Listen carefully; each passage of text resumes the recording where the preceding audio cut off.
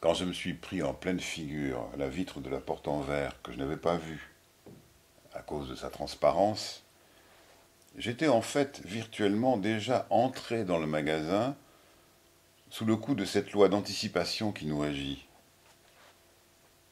En percutant cette porte, je suis obligé de revenir brutalement en arrière. J'ai mal au nez, je suis ivre, puni de m'être désolidarisé du temps réel. Le choc qui a stoppé net mon élan me met de l'autre côté de moi, cul par-dessus tête.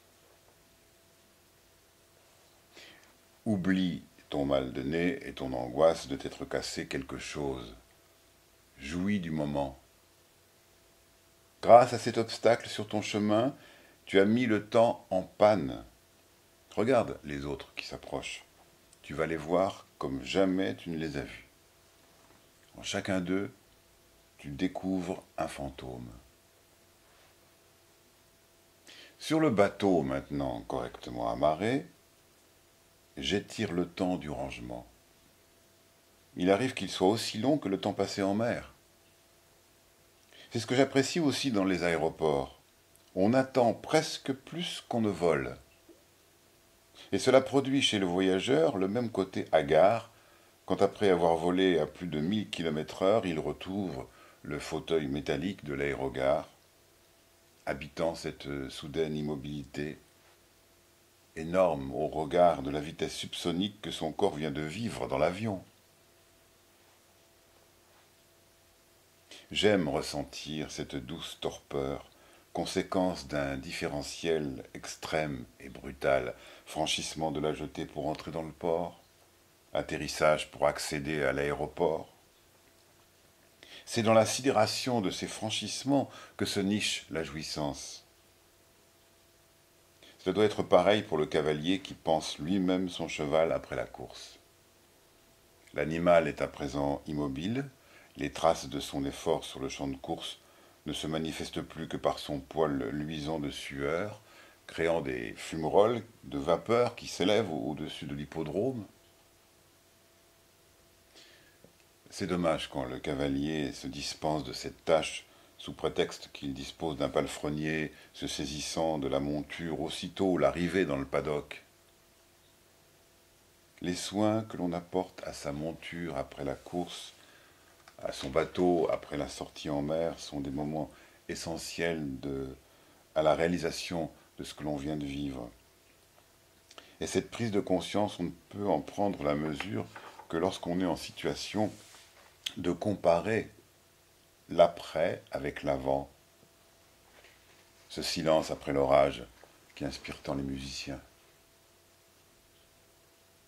La différence en permettant la comparaison entre deux états et l'instrument qui étalonne l'émotion.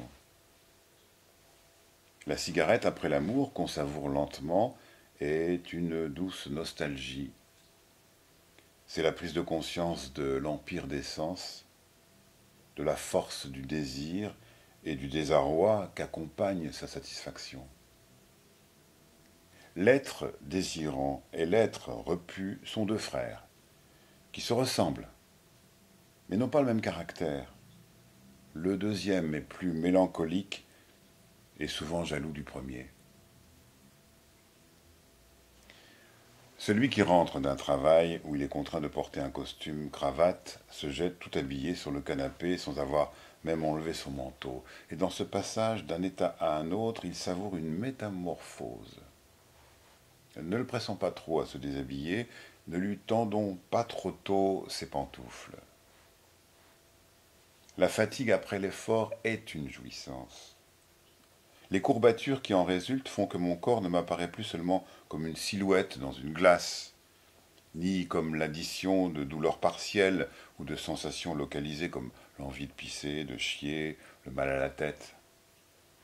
Les courbatures dévoilent mon corps en entier comme on fait apparaître le relief d'une pièce de monnaie en frottant avec un crayon la feuille de papier sous laquelle on l'a placée. C'est difficile d'accepter ce paradoxe, celui d'un corps endolori par l'effort, associé à ce moment unique de découverte de ma conscience corporelle complète. Le vêtement, lui aussi, en s'ajustant au plus près du corps, nous restitue notre empreinte par les sensations tactiles qu'il provoque. Par son contact avec la peau, il nous restitue notre image corporelle. Nous sommes tous des hommes invisibles, semblables à ce personnage qui ne pouvait révéler sa, sa présence aux autres que par les vêtements qu'il portait, et son visage par des bandages qui le recouvraient complètement. Le vêtement, en s'ajustant au plus près du corps, nous restitue notre empreinte par les sensations tactiles qu'il provoque. C'est la même chose quand on se glisse entre les draps du lit. Le contact du tissu restitue la sensation du corps entier. Il arrive même que pour parfaire cette sensation, on se recouvre le visage avec le drap du dessus. Et quand je me lève un instant puis regagne le lit, je me love dans cette trace chaude à la recherche de mon corps que les draps ont enregistré par la persistance de la chaleur.